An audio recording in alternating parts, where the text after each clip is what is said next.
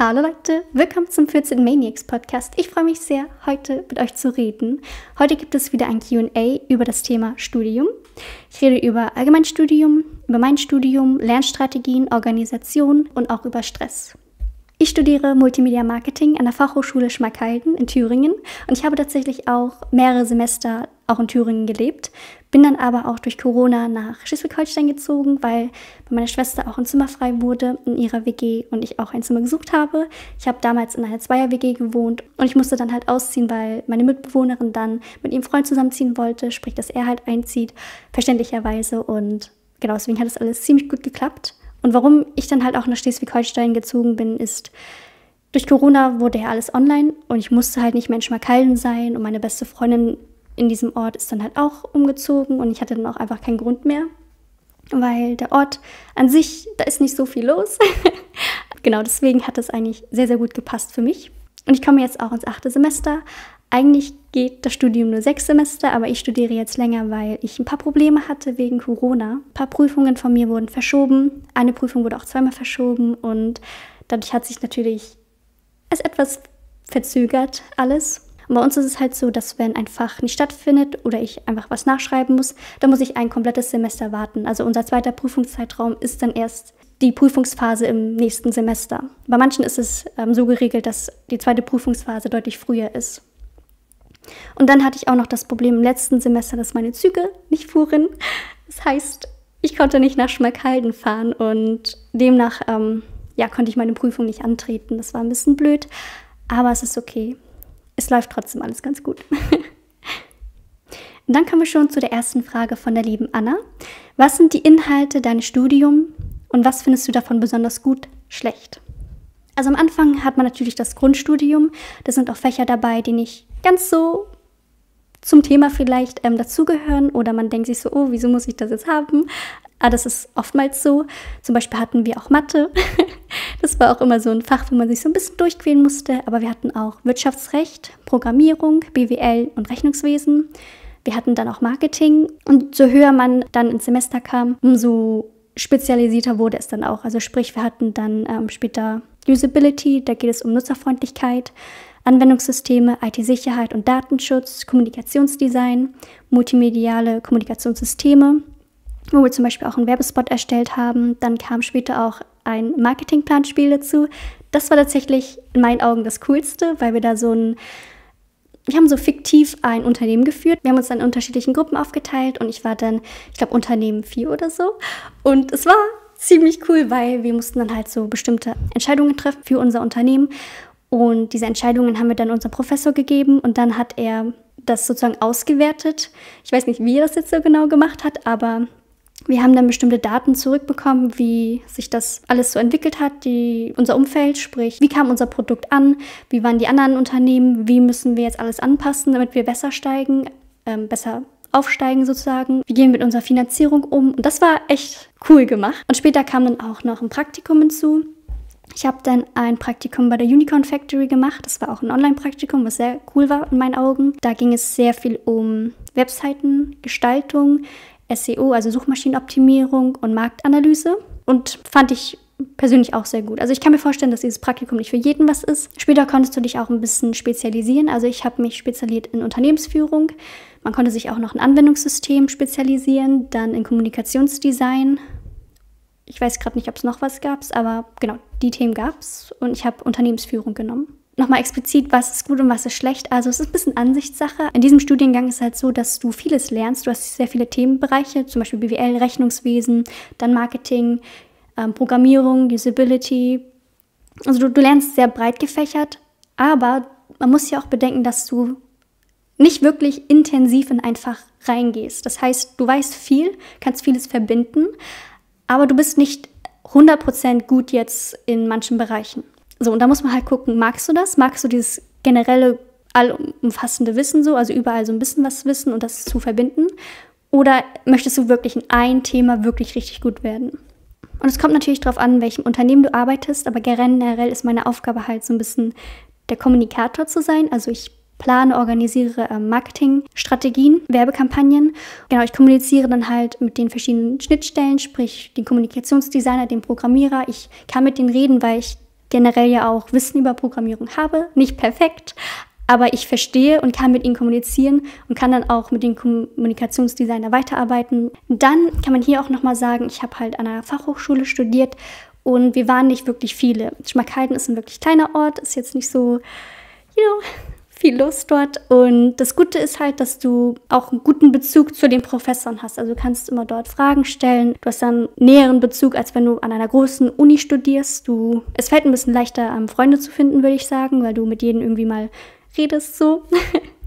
genau, also wenn man das mag, dann ist das natürlich auch sehr praktisch. Felox fragt, wie kam es dazu, dass du dir gesagt hast, ja, ich will jetzt dies und jenes studieren. Ehrlich gesagt habe ich lange überlegt, ähm, was ich machen möchte. Also nach der Schulzeit wusste ich es tatsächlich noch nicht. Erst als ich Work and Travel gemacht habe, da kam mir das tatsächlich erst nach und nach. Aber zuerst habe ich halt überlegt, okay, was interessiert mich? Was sind meine Stärken? Was kann ich gut oder woran möchte ich besser werden? Wie kann ich das verbinden? Und ich hatte dann verschiedene Studiengänge mir aufgeschrieben, wie Psychologie, Wirtschaftspsychologie, Marketing, Kommunikationsdesign also in diesem Bereich war ich halt schon am Überlegen, aber Psychologie ging halt nicht, weil mein Notendurchschnitt nicht gut genug war. Und dann hatte ich auch noch Überlegungen wie irgendwas noch im Bereich Design hier und da. Und das war dann vieles, was ich machen wollte, auch in Privathochschulen. Das war dann halt auch ein bisschen teuer. Manche gingen dann halt nicht, musste ich dann wieder ausschließen. Dann habe ich auch schon angefangen, eine Mappe mir zu erstellen für Kommunikationsdesign. Ähm, aber ich war mir auch nicht sicher, will ich wirklich Kunst zu meinem Beruf machen? Also so Zeichnen hier und da bringt mir zwar Spaß, aber will ich das als Beruf haben? Ich hatte auch sehr lange überlegt und genau, dann habe ich halt absolviert die Schule und dann ging es für mich ins Ausland. Und da habe ich mich auch sehr viel mit Social Media beschäftigt tatsächlich. Ich habe mich immer mehr da so ein bisschen reingefuchst und dann dachte ich mir so, okay, ich würde schon gerne was in diesem Bereich machen. Und als ich dann halt in Kanada war, habe ich immer mal wieder so auch nach Studiengängen gesucht. Und ich kann mich noch an den einen Tag erinnern, da saß ich so in meinem Bett und dann habe ich das von Schmalkalgen gesehen, Multimedia Marketing. Ich dachte mir so, hm, hört sich ganz gut an. Ähm, und dann habe ich mich auch tatsächlich direkt beworben, weil es auch NC-frei war. Und ich fand halt die Kombination zwischen Multimedia Marketing ganz gut, weil es halt ein bisschen Kunst hat, aber auch halt so die Business-Seite mit einbezieht. Und das fand ich halt sehr spannend. Genau, habe mich dann dafür entschieden, mich da zu bewerben. ja, und wurde dann auch angenommen. Also ich kann auf jeden Fall empfehlen, teste aus, überleg dir, was dir gefällt. Vielleicht gibt es da wirklich Möglichkeiten, dass du das zum Beruf machen kannst und viel austesten. Genau, informier dich einfach über Themen, Falls du es nicht direkt nach der Schule weißt, ähm, vielleicht kannst du ja auch wie ich Ausland, ins Ausland gehen oder ein FSJ machen oder ja noch irgendwie was dazwischen schieben, wo du vielleicht auch etwas austesten kannst, um dann zu sehen, okay, möchte ich das studieren. Und außerdem sind das wundervolle Erfahrungen, muss man dazu sagen. Also dieses Auslandsjahr, also ich war eigentlich kein Jahr dort, ich war da nur ähm, sieben Monate. Ähm, also Auslandsaufenthalt ist hier die richtige Aussage. War unglaublich bereichernd. Ich habe so viel dazugelernt. Ich bin viel selbstständiger geworden. Ich kann mit Problemen deutlich besser umgehen. Ich kann mich noch an einer Situation erinnern, das habe ich auch in meinem anderen Podcast erwähnt. Da war ich, musste ich fast auf der Straße übernachten und ich hatte so Panik, weil ich das nicht wollte und musste eine Lösung finden hier und da. Und ähm, ich hoffe natürlich, dass euch sowas nicht passiert. Um Gottes Willen, das passiert wirklich nicht oft. Ich hatte nur einfach ein Problem. Und man löst das auch. Also ich habe alle meine Probleme gelöst bekommen. Ja, man lernt einfach so viel. also ich kann das auch wirklich nur jedem ans Herzen legen. Es ist wirklich sehr, sehr bereichernd. Silvana fragt, wunderschöner Name, ich weiß nicht, ob ich es richtig ausspreche, wenn tut mir das leid. Kanntest du schon jemanden, bevor du dein Studium gestartet hast? Und wie hast du die Leute kennengelernt? Tatsächlich kannte ich noch niemanden. Also ich habe dann halt zuerst meine Mitbewohnerin kennengelernt und dann ja, war der erste Tag und ich war tatsächlich sehr motiviert. ich, ich, kam ja so ein bisschen frisch aus Kanada und war es doch ein bisschen gewohnt, schon mit fremden Leuten zu reden, weil man ja im Ausland dann doch alleine ist und man will ja nicht durchgehend alleine sein, deswegen kommuniziert man halt. Und dann war ich so, okay, ich werde mir jetzt so richtig Mühe geben und Freunde finden und kommunizieren. Let's go. und dann war ich da und habe auch die ersten angesprochen und war so, hey. Und die haben mich so angeguckt und waren so, was will die jetzt von mir? also da kam irgendwie gar nichts von denen und dann habe ich mich ganz, also war mir das schon ein bisschen peinlich und dann bin ich halt zur Seite gegangen, ähm, habe mich irgendwo hingestellt alleine. habe erstmal so halt geguckt, mir das alles so angeguckt. Also ich habe da nicht noch andere Leute angesprochen, weil ich so ein bisschen dann eingeschüchtert war, wenn man das so sagen will. Dann stand ich da und dann kam ein Mädchen zu mir mit noch einem anderen Mädchen. Sie hat dann zu mir Hallo gesagt und ich so Hallo, stand dann neben mir. Wir haben auch gar nicht so wirklich geredet. Und dann durften wir rein in den Raum, also wir durften noch nicht direkt in den Saal, wir mussten halt draußen warten. Dann gingen wir rein, haben uns hingesetzt, nebeneinander. Und seitdem saßen wir immer nebeneinander. Also es war ganz witzig, wie wir uns kennengelernt haben. Dann haben wir natürlich nach dem Unterricht auch geredet und haben gemerkt, so, oh, wir verstehen uns, wir sind beide sehr ruhig und wir kommen damit sehr gut klar. Ja, das war sehr witzig. und dann, ähm, genau, kamen noch mehr Leute dazu und dann hat sich das so ein bisschen entwickelt. Anna fragt, was kannst du danach damit arbeiten? Also auf der Webseite steht folgendermaßen, ich kann als Manager im digitalen Marketing, Online-Marketing arbeiten, Manager im Social-Media-Bereich, Mitarbeiter im SEO, SEM, Performance Marketing, Customer Experience Manager und Manager im Content Creator, Content Marketing. Genau, das sind so die Bereiche, in die man arbeiten kann. Aber es gibt natürlich auch noch mehrere Bereiche. Also das sind so jetzt die Hauptbereiche. Merle fragt, arbeitest du mit iPad? Ja, tatsächlich schon. Also erst und zweite Semester habe ich tatsächlich ohne ein iPad gearbeitet, also schriftlich. Aber ich muss zugeben, es war so eine gute Entscheidung, mir ein iPad anzulegen. Es hat so vieles einfacher gemacht, weil ich dann, ich hatte meine Folien direkt parat und konnte neben, also direkt auf der Folie schon Notizen machen oder halt ein Blatt einfügen, das unter der Folie direkt das Blatt ist und ich Notizen habe. Es war alles super schön sortiert und ich persönlich fand es extrem angenehm. Du musst nicht auch so viel Zettel mitschleppen, es ist alles organisiert und du hast auch jedes Fach immer dabei, was sehr, sehr praktisch ist. Also ich persönlich kann es sehr, sehr gut empfehlen und ich fand es auch deutlich angenehmer, als mit einem Laptop zu arbeiten. Also ich habe irgendwann auch mal versucht, mit einem Laptop da auf den Folien zu schreiben, aber ich fand es persönlich nicht so angenehm. Deswegen kann ich auf jeden Fall ein iPad empfehlen oder generell ein Tablet. Jetzt werde ich einmal zwei Fragen verbinden und sie dann direkt zusammen beantworten. Elena fragt, wie lernst du am besten? Basti fragt, wie sieht deine Lernstrategie während dem Semester im Vergleich zur Prüfungsphase aus? Also während des Semesters ist es mein Ziel, sozusagen das Skript vollständig zu haben und so zu gestalten, dass alle Fragen sozusagen rein theoretisch beantwortet sind, dass ich es, wenn ich für meine Prüfung lerne, schon alles parat habe und nicht extra noch Sachen herausfinden muss. Das heißt, während des Studiums achte ich darauf, dass meine Fragen geklärt werden, dass alles beisammen ist und dass ich auch auf dem aktuellen Stand bin und nicht im Hinterzug, im Verzug bin beim Lernen. Wenn es dann zur Prüfungsphase hingeht, ist es folgendermaßen, gehe ich folgendermaßen vor. Da separiere ich auch nochmal meinen Vorgang. Einmal gehe ich das Skript durch und bearbeite es so, dass es dann lernfähig ist, dass ich dann nur noch auswendig lernen muss. Das heißt, ich gehe das Skript durch und habe folgende Methoden, wie ich dann auswendig lernen kann. Also einmal lerne ich natürlich so, dass ich einfach nur stumpf auswendig lerne. Ich lese mir das durch und wiederhole es. Dann habe ich eine Lernmethode, eine Auswendig-Lernmethode, das ist die Loki-Methode. Das ist auch meine absolut Favorite-Methode. Also ich benutze die immer, wenn ich auswendig lerne. Bei der Lernmethode geht es halt darum, dass du deinen Orientierungssinn verwendest, um zu lernen. Das heißt, erkläre ich das einmal im Groben. Ihr stellt euch eine Route vor und mit dieser Route lernt ihr dann. Ich erkläre euch das einmal kurz anhand meines Zimmers. Mein Zimmer ist so aufgebaut, dass ich hier einmal meine Tür habe, meine Kommode, mein Bett, Fenster, Tisch, Schrank, Keyboard. Das ist meine Route. Und dann fange ich an. Der erste Punkt meiner Route ist meine Tür. Und an meiner Tür hefte ich sozusagen gedanklich eine Information, die ich auswendig lernen möchte. Dann gehe ich weiter. Kommode. Nächsten Punkt, den ich auswendig lernen möchte, hafte ich an meine Kommode. Und dann wiederhole ich das. Und so gehe ich das einmal diese Route durch und knüpfe das an Wissen an. Hierbei muss man aber auch bedenken, dass diese Routenpunkte einen gewissen Abstand voneinander haben. Also die Elemente, wo du dir was merkst, die dürfen nicht zu nah aneinander sein, weil dann kommt man ein bisschen so durcheinander.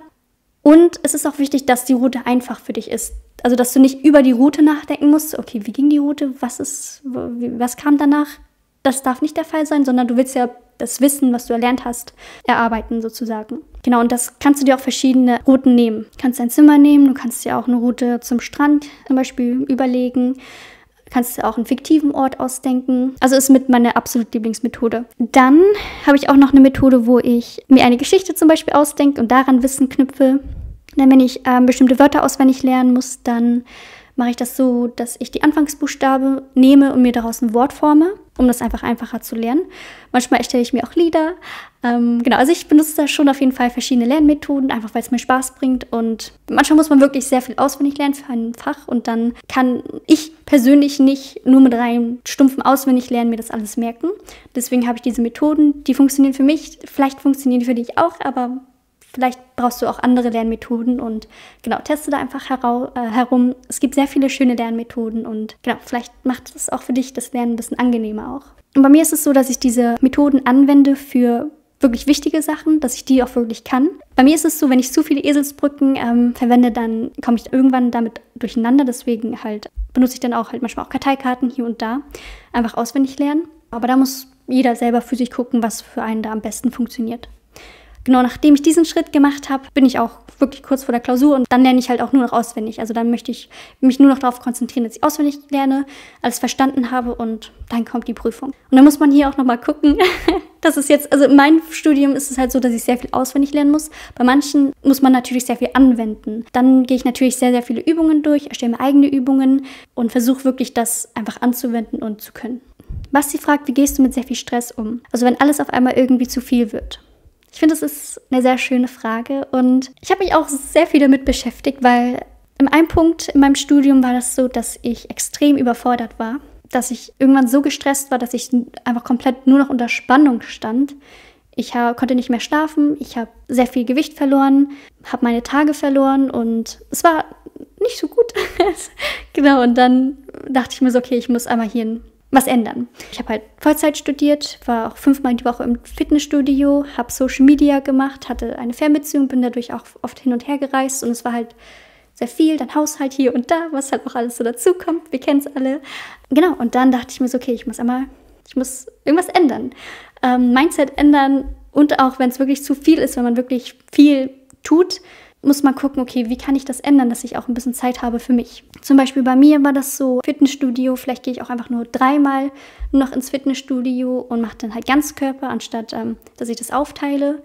Da muss jeder gucken, was kannst du bei dir vielleicht reduzieren, was ist für dich am wichtigsten, dass du das priorisierst und bei dem anderen vielleicht ein bisschen weniger machst. Mindset war für mich ein sehr, sehr großer Punkt. Ich bin ein Mensch, der sich sehr schnell stresst und mir auch sehr viel Stress aufbaut im Kopf. Das ist für mich der größte Punkt, woran ich arbeiten musste. Und ich habe mir dann halt genau erstmal überlegt, okay, wie kann ich mir den Stress nehmen? Ich habe sehr viel gejournalt. Immer wenn irgendwas ist oder ich merke, okay, ich, mein Kopf ist gerade einfach too much for me, dann journal ich. Definitiv. Ähm, ich brauche das einfach. Habe mir auch Aktivitäten überlegt, okay, was kann ich tun, um runterzukommen. Yoga hilft mir sehr viel. Auch in meiner Prüfungsphase mache ich sehr viel Yoga. Ich mache nicht durchgehend Yoga, meistens immer dann, wenn ich es halt brauche. Bezüglich Mindset, ich versuche mir eigentlich immer so in Gedanken zu rufen, so okay, dein Ziel ist es einfach, dein Bestes zu geben. Das ist auch das Wichtigste und, und Stress, die Stress zu machen, ist komplett unsinnig. Du willst doch nicht dein Leben lang mit Stress leben. Also es ist ja irgendwie unschön und Genau deswegen jedes Mal einfach, wenn du merkst, dass du an diesen Punkt kommst, dann stoppe wirklich mal und beschäftige dich mit deinen Gedanken. Ignoriere das nicht. Es ist wichtig, dass es dir gut geht, weil erinnere dich daran, wenn du gesund bist und es dir gut geht, dann wirst du auch länger durchhalten, du wirst deine Ziele erreichen und du kannst auch bessere Leistung geben. Das heißt, dir Zeit zu nehmen für dich selber ist wichtig, um im Gesamten gut zu sein, gut vorankommen, gute Fortschritte zu machen und seh dich um dich selber zu kümmern nicht als Zeitverschwendung an oder das passt gerade nicht oder hier und da. Wirklich, nimm dir Zeit für dich selber. Und Schlaf ist auch sehr wichtig. Schlaf sollte man nicht äh, vergessen, definitiv nicht. Bei mir ist es auch so, dass ich einfach, ich bin einfach glücklicher, wenn ich genügend schlafe. Und ich kann auch einfach besser arbeiten, wenn ich schlafe. Reland fragt, meine größte Schwäche ist das Anfangen. Wie startest, motivierst du dich? Es gibt einmal die Methode, da kann man von 5 runterzählen, so 5, 4, 3, 2, 1, let's go. Das hilft halt einfach so ein bisschen zu verhindern, dass du dir irgendwie Ausreden ausdenkst oder dass dein Gehirn loslegt, um zu sagen, so, nee, deswegen machst du das nicht oder hier und da. Ich persönlich benutze die Methode nicht, ist aber sehr hilfreich und hilft auch vielen anderen Leuten. Ich benutze zum Beispiel auch oftmals die Pomodoro-Technik. Das heißt, du arbeitest für 25 Minuten, machst 5 Minuten Pause und das machst du viermal und danach kannst du zum Beispiel 15 bis 30 Minuten Pause nehmen und kannst sich auch dir was gönnen zum Beispiel. Also dass du sagst, okay, ich arbeite jetzt diese viermal durch und dann kannst du ein Anime gucken oder so, dass du so ein bisschen etwas hast, wohin du hinarbeitest. Und du kannst die Zeit natürlich auch anpassen. Das heißt, du musst nicht 25 Minuten arbeiten, du kannst natürlich auch 30 oder eine Stunde, je nachdem, wie du dich fühlst. Manchmal ist es auch einfach angenehm, mit 25 anzufangen und dann die Zeit zu erhöhen. Und das hilft mir halt einfach, weil ich dann denke mir so, okay, ähm, ich schaffe es ja wohl, 25 Minuten zu arbeiten. Komm, das kriegst du hin, das sind nur 25 Minuten. Let's go. Und das motiviert mich dann anzufangen. Und meistens ist es dann einfach so viel einfacher weiterzumachen und dann kommt man auch wirklich voran. Dann würde ich mir auch überlegen, wann lernst du am besten? Bei mir ist es so, dass ich einfach viel einfacher am besten lernen kann, wenn ich morgens lerne. Und die Überwindung dann ist für mich auch einfach viel, viel einfacher, als wenn ich abends lerne. Abends lerne ich nicht gerne und es fällt mir extrem schwer, mich aufzuraffen und mein Gehirn ist auch irgendwie schon ein bisschen so ein bisschen matsch. Das heißt, zum Beispiel habe ich dann vor der Uni halt auch angefangen zu lernen oder an anderen Sachen gearbeitet, wie Social Media oder so, um mir einfach diese Hürde etwas wegzunehmen, um das abends nicht alles machen zu müssen. Aber da würde ich wirklich gucken, wie, wie ist es für dich? Was tut dir da am besten? Dann hilft mir es natürlich auch so ein bisschen meine Ziele vor Augen zu haben. Was möchte ich halt erreichen in meinem Leben? Und das bringt mich halt voran. Manchmal muss man halt auch Dinge tun, die man vielleicht nicht ganz so gerne mag, aber um voranzukommen. Das motiviert. Man will ja seine Ziele erreichen und sein Bestes geben. Vera fragt, wie gehst du mit der Angst und Stress um, wenn du mit dem Stoff im Verzug bist? Also prinzipiell versuche ich das so ein bisschen zu vermeiden, dass ich in Verzug komme. Ich frage dann halt ähm, direkt nach. Also ich habe das oftmals gemacht, dass ich nach dem Kurs oder am Ende den Kursen habe ich mich mit einer Freundin noch mal kurz zusammengesetzt und wir haben ein paar Sachen durchgesprochen. So, wir haben uns meistens sehr gut ergänzt. Was ich nicht verstanden habe, hat meistens sie verstanden und was sie nicht verstanden hat, hat meistens ich verstanden. Also es hat sich hat immer ganz gut geklappt. Dann habe ich auch immer geguckt, okay, an welchen Tagen kann ich das nacharbeiten? Wenn ich merke, so, okay, ich bin da im Verzug, ich, ich brauche einfach noch ein bisschen mehr Zeit. Kann ich irgendwie am Wochenende daran arbeiten, am Abend irgendwie vom gleichen Tag, dass du dir so ein bisschen überlegst, okay, wann kann ich daran arbeiten? Du kannst natürlich auch versuchen, ähm, wenn du merkst, okay, dieses Semester lief nicht so gut, nächstes Semester. Vielleicht schaffst du es da so ein bisschen vorzuarbeiten, dir einfach mal kurz die, die Sachen so durchzulesen, von dem, was halt dann ansteht, was belehrt wird dann an dem Tag, kann auch immer sehr gut helfen, um auch Fragen schon dann an dem Tag dann zu lösen, sprich mit deinen Kommilitonen. Aber generell, wie gehst du mit Angst und Stress um? Ich versuche halt, mir klarzumachen, dass ich gebe mein Bestes und mehr kann ich nicht tun. und ich will auch nicht mit Stress leben. Und das Einzige, was ich halt tun kann, ist, mich zu bemühen, ist, mir Zeit zu suchen, wann ich daran arbeiten kann. Und ich gebe mein Bestes. Ich weiß nicht, ob es dir hilft, aber ich mache mir halt auch bewusst, dass es dass ich das für mich mache. Ich möchte niemanden beeindrucken. Ich möchte das einfach für mich machen, weil mich das interessiert. Und deswegen muss ich mich nicht stressen lassen. Ich gebe mein Bestes und das ist, was zählt. Fun fragt, ich habe totale Prüfungsangst. Hast du irgendeinen Tipp für mich? Und ich kann das so gut nachvollziehen. Also erstes, zweites Semester war bei mir auch ganz schlimm tatsächlich. Und das hat man auch an meinen Noten gemerkt. Danach wurde es tatsächlich für mich deutlich besser, weil ich weniger Prüfungsangst hatte. Und meine Noten wurden auch besser. Generell kann man natürlich erstmal darauf achten, dass man versucht, die Themen, bei denen man eine Prüfung schreibt, ähm, gut zu können, also dass man eine gute Vorbereitung hat. Das nimmt natürlich dann auch schon Stress, wenn man weiß, was man kann. Und versucht sich auch daran zu erinnern, so, okay, ich habe mir Mühe gegeben, ich habe mein Bestes gegeben und das ist alles, was ich tun konnte. Und jetzt, jetzt stehe ich vor der Prüfung und das, ich kann die Situation, die jetzt ist, gar nicht mehr ändern. Ich nehme das, was kommt und das Wissen, was ich habe, werde ich anwenden. Das heißt, es lohnt sich auch nicht mehr zu stressen, weil ich es auch nicht mehr ändern kann dann rufe ich mir auch in Erinnerung, dass es ist so gesehen nur eine Prüfung. Also ich versuche die Wichtigkeit der Prüfung zu entnehmen, indem ich mir einfach denke, so, okay, es ist nur eine Prüfung. In Zukunft werde ich, ist die Prüfung total egal. es ist eine Prüfung von vielen und, you know, ich gebe jetzt mein Bestes, aber letzten Endes, in fünf Jahren werde ich nicht mal an diese Prüfung denken und es ist egal. Dann, was mir auch persönlich hilft, vor einer Prüfung gehe ich Leuten aus dem Weg, die über das Thema reden, weil mich das total unsicher macht und mein Wissen anzweifeln lässt. Wenn dir das hilft, kurz vor der Prüfung nochmal darüber zu reden, dann go for it, definitiv. Mich macht das einfach sehr unsicher. Dann kannst du natürlich aber auch darauf achten, dass du zum Beispiel Atemtechniken anwendest. Du kannst ähm, vorher nochmal journalen, falls dir das hilft. Überleg dir wirklich so, okay, was bereitet dir so viel Stress? Wovor hast du Angst? Und beschäftige dich damit und versuch dir wirklich mal rational zu überlegen, okay, ist es gerade sinnvoll, dass ich mir diesen Stress mache? Wie, wie, wieso mache ich das? ich hoffe, das konnte dir einigermaßen helfen. Skia fragt, wie strukturierst du die Prüfungsphase? Also das ist letztendlich meine Methode. Ähm, generell, was ich hier alles so erzähle, das funktioniert für mich. Ich bin auch noch daran, mich weiterzuentwickeln, aber ich erzähle euch so meine Methoden und vielleicht können die euch helfen. Es muss nicht immer die beste sein oder nicht die sein, die für dich vielleicht auch funktioniert. Wie ich meine Prüfungsphase strukturiere. Also generell mache ich mir erstmal eine Übersicht, wann sind meine Prüfungen, wie viele Tage habe ich zwischen meinen Prüfungen und wie viele Tage glaube brauche ich für meine Prüfungen. Zum Beispiel in meiner letzten Prüfungsphase war das so, dass ich zwischen Marketing und UF, also Unternehmensführung, nur einen Tag dazwischen hatte. Das ist nicht viel. Das heißt tatsächlich, die erste Prüfung, für die ich gelernt habe, war die letzte Prüfung in meiner Prüfungsphase. Weil ich wusste, okay, das, das, das wird zeitlich für mich einfach zu eng. Für die habe ich gelernt und dann habe ich mir auch so ein bisschen die Tage eingeteilt. Wenn ich zum Beispiel zwischen Marketing und IT-Sicherheit und Datenschutz sieben Tage habe, dann teile ich zum Beispiel ein, so drei Tage dafür und die vier Tage dann für Marketing und so. Also, dass ich so ein bisschen in Übersicht habe, welche Tage ich für was benutze. B. Etty fragt, wie organisierst du deinen Alltag und ziehst du es auch durch? Also, tatsächlich arbeite ich noch daran. Bin noch nicht hundertprozentig zufrieden mit meiner Methode. Aber bei mir ist es so, dass ich generell mir so einen groben Wochenplan erstelle.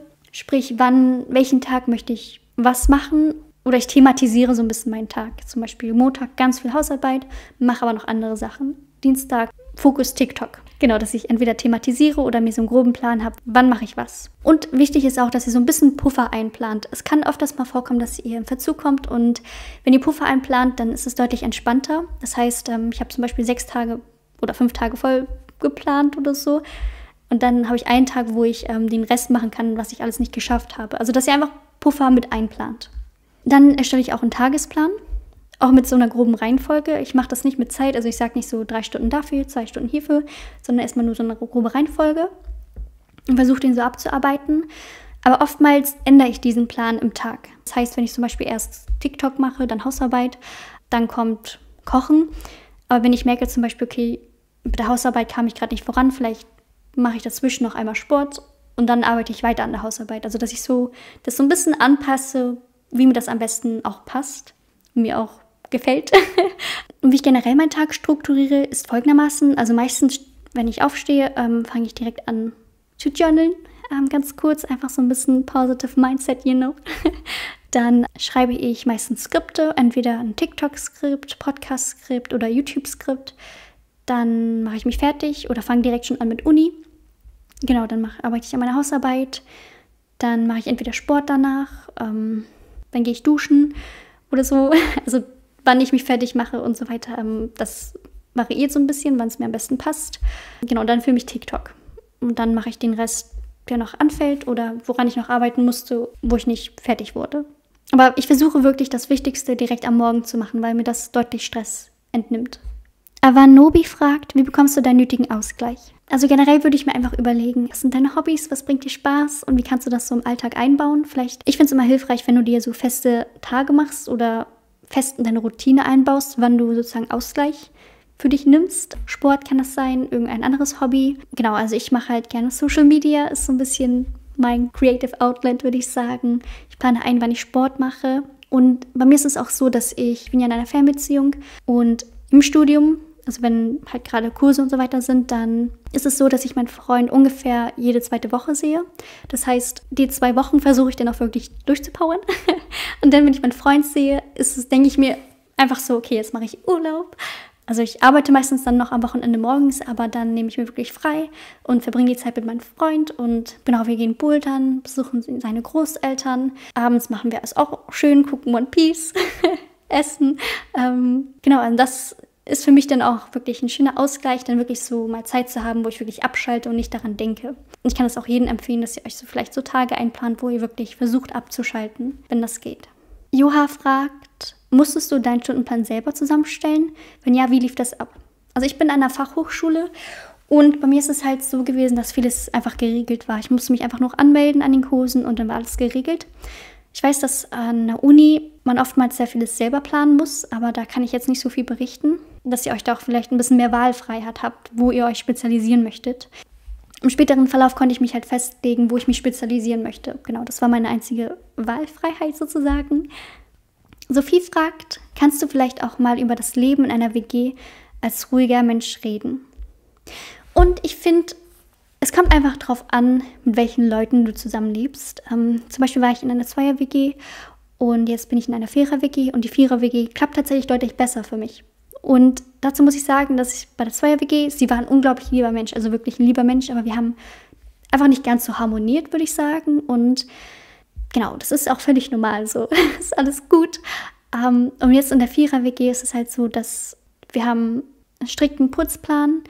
Wir setzen uns auch manchmal so zusammen, wenn wir sagen, so, okay, das stört uns, das finden wir gut, dann reden wir darüber. Wir haben eine sehr gute, ein sehr gutes Kommunikationsverhältnis und wir nehmen die Sachen auch nicht persönlich. Also wir sehen das wirklich als gemeinschaftliches, einfach Verbessern des Lebensumfeld sozusagen. Zudem muss ich auch sagen, dass die Vierer-WG, wir sind alle sehr ruhig, wir sind ruhige Menschen, wir sind auch alle sehr beschäftigt und wir feiern auch jetzt keine Partys oder keine Hauspartys. Da sind wir einfach alle nicht so die Menschen dafür es ist ziemlich schön. Also auch wenn jeder so sein Ding macht und arbeitet, ähm, es ist keine Zwecks-WG. Wir reden halt ähm, auch öfters viel. Wir sind unterschiedliche Menschen und wenn wir Probleme haben, können wir uns gegenseitig helfen. So ein bisschen unserer Sichtweisen erzählen und so weiter. Deswegen würde ich wirklich sagen, so, es kommt immer so drauf an, mit wem man sozusagen eine WG gestaltet. Kommunikation ist wichtig. Ich würde auch sagen, dass Putzplan ähm, auch sehr wichtig ist, dass es einfach nicht zu Streit kommt und einfach deine Mitmenschen zu respektieren. Das ist auch wichtig. Wir nehmen sehr viel Rücksicht aufeinander und wollen halt auch einfach, dass jeder sich wohlfühlt. Hahaha fragt, wie ging es dir mit dem Umstieg von Schule auf Uni?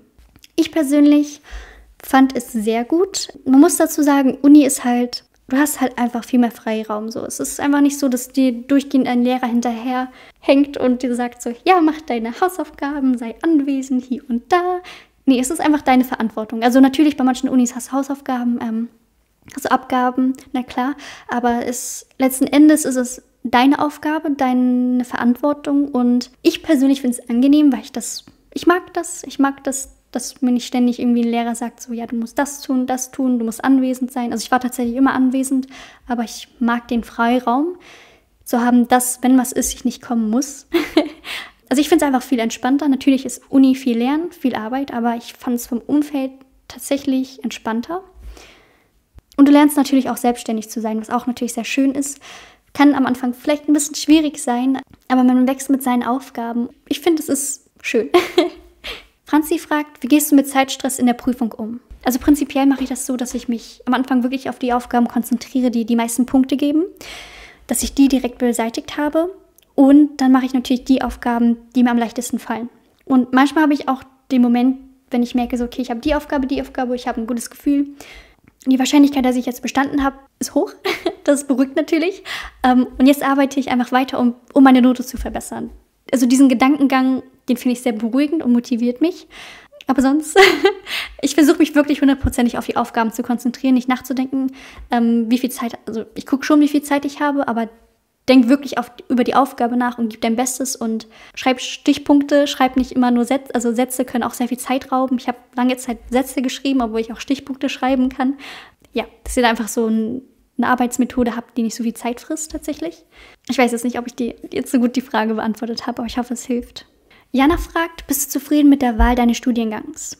Prinzipiell ja, also ich bereue es nicht, dass ich studiert habe. Wenn ich nochmal studieren würde, würde ich wahrscheinlich nicht das gleiche machen. Ich würde wahrscheinlich versuchen, doch Psychologie zu, zu studieren, vielleicht im Fernstudium. Aber das weiß ich jetzt nicht, kann ich so nicht sagen. Also ich bereue es nicht. Würde ich es nochmal machen, würde ich schon in Frage stellen. Mali fragt, hast du schon mal eine Prüfung nicht bestanden und wie bist du damit umgegangen? Ja, tatsächlich zweimal. Ähm, bei der ersten war das Programmierung 1, das war relativ am Anfang und ja, meine Gedanken waren so, wie soll ich das das nächste Mal schaffen? Die war so schwierig. Die war wirklich schwierig. Ich weiß noch, als bei der Prüfung nach zwei Minuten ist jemand rausgegangen und hat zu dem Prüfer gesagt, so ja, Herr Blablabla, ich komme nächstes Mal wieder.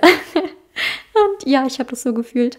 was ich tatsächlich nach der Prüfung direkt gemacht habe, also ich war mir schon sicher, dass ich durchgefallen bin, ich habe mir die Aufgaben versucht wieder aufzuschreiben. Also ich habe mein Handy genommen, ich habe mir die Aufgaben aufgeschrieben, was mir noch einfiel, einfach damit ich weiß, was dran kam. Prüfungsaufgaben, die Art davon und habe versucht, diese Übung nochmal durchzugehen, das zu lernen. Dann ähm, bin ich mit anderen Leuten, die auch durchgefallen sind, äh, wir haben das Fach dann nochmal zusammen gelernt, haben versucht, uns gegenseitig zu helfen. Manchmal ist es auch sehr praktisch. Es ist gut, Leute zu kennen im Studium, weil manche haben gute Skripte, die irgendwie weitergeschickt werden oder haben andere Informationen und kann helfen, ähm, Leute einfach zu kennen, die geben die einfach so die Skripte, wo jemand eine Eins geschrieben hat. Und dann damit zu lernen, ist natürlich sehr praktisch. das habe ich dann auch gemacht, halt mit den Sachen dann zu lernen und bin dann in die Prüfung gegangen und ähm, habe sehr viel gelernt dafür und es ging gut. Also dann zweites Mal hat es auf jeden Fall geklappt. Ich habe es jetzt noch nie in dem Moment, dass ich in eine Drittprüfung reingehen musste. Ich glaube, das ist sehr schon sehr belastend ist. Da kann ich leider keine Tipps geben und ich hoffe, dass ich auch nicht in diese Situation komme. Und das zweite Fach, wo ich halt durchgefallen ist, war Marketing, Vertiefung. Ähm, mein Lieblingsfach. das war frustrierend, dass ich genau in mein Lieblingsfach durchgefallen bin. Und es war halt auch ein bisschen wegen Corona. Die Aufgaben online und präsent sind komplett anders gestaltet und ich kam mit den Online-Aufgaben am Anfang nicht klar. Ich habe die nicht verstanden. Ich war so, nee, tut mir leid, Herr Prüfer, ich verstehe die nicht. Also, nee. Ähm, aber dann habe ich mich einfach noch halt damit beschäftigt. Sprich, wir hatten ja die Aufgaben dann zu Hause und dann bin ich die durchgegangen und dann habe ich auch die Art der Aufgaben verstanden und dann ging das. Chrissy fragt, wie gehst du damit um, wenn du Probleme hast, dich zu konzentrieren? Da kommt es drauf an, warum ich mich nicht konzentrieren kann. Einmal natürlich, wenn es eine Kopfsache ist, sprich, ich, mir gehen einfach so Gedanken durch den Kopf und ich kann mich nicht konzentrieren, weil mich ein Thema einfach festhält. Dann journal ich, ich beschäftige mich mit meinem Problem und versuche das so ein bisschen zu bearbeiten und mich dann nochmal ranzusetzen, um zu lernen. Dann Pomodoro-Technik hilft mir, ähm, dass ich da wirklich sage, so, okay, 25 Minuten kriegst du hin, konzentriere dich. Wenn das nicht klappt oder ich das Gefühl habe, ich kann einfach nicht mehr lernen, weil mein Kopf einfach voll ist, dann habe ich noch die Möglichkeit, ähm, Yoga zu machen. Das hilft mir auch. Spazieren gehen oder zu duschen tatsächlich. Ihr könnt ja auch mal schauen, nach einer Dusche fühle ich mich meistens einfach so refreshed und mein Kopf funktioniert einfach wieder und dann kann ich auch meistens wieder anfangen zu lernen. Wow Wow fragt, wie teilst du dir deine Hausarbeit ein? Meistens schreibe ich immer morgens an meine Hausarbeit, weil ich da einfach am besten schreiben kann. Dann überlege ich mir auch so, an welchen Tagen habe ich mehr Zeit und an welchen Tagen kann ich wirklich intensiv an meiner Hausarbeit arbeiten. Dann habe ich auch für mich persönliche Deadlines, zum Beispiel wann ich meine Gliederung fertig haben möchte. Also einfach das gesamte Wissen angesammelt. Ich habe eine Gliederung auch schon, weiß schon, was ich rein theoretisch schreiben möchte. Und dann habe ich einen Punkt, einen Zeitpunkt, wo ich fertig sein möchte mit Schreiben. Mikado fragt, wie ist das Studieren in der Corona-Zeit? Also ich muss ganz ehrlich sagen, dass ich wirklich froh bin, dass ich die ersten Semester ganz normal zur Uni gehen konnte, weil ich dadurch auch Leute kennenlernen konnte. Und wenn man halt Fragen hat, was nicht verstanden hat, dann kann man sich gegenseitig helfen und das ist wirklich hilfreich, definitiv. An sich fand ich aber Online-Unterricht ganz gut. Ich fand es sehr praktisch, von zu Hause aus zu arbeiten und ich fand das ganz angenehm, einfach weil dir dadurch auch sehr viel Zeit ersparen bleibt. Also du musst nicht zur Uni gehen, wenn du zwischen den Fächern Zeit hast, dann bist du zu Hause und kannst schon irgendwas machen, was auch sehr praktisch ist und weniger stressig ist natürlich. Ich konnte umziehen, was natürlich sehr praktisch ist. Mittlerweile, glaube ich, ist es auch so, dass man wieder zur Uni gehen kann. Ich habe jetzt keine Kurse mehr, die ich belegen muss, aber teilweise ist es online, teilweise kann man jetzt auch wieder zur Uni gehen. Also es ist auf jeden Fall schon ein bisschen lockerer geworden. Das war es auch schon mit dem Podcast. Ich hoffe, er hat euch geholfen und gefallen. Ähm, so ein paar Fragen, vielleicht bezüglich Studium und Lernen, ja, dass ich euch da weiterhelfen konnte. Und wir sehen uns beim nächsten Mal. Ich habe euch ganz doll lieb. Habt ein wunderschönes Wochenende. Bye.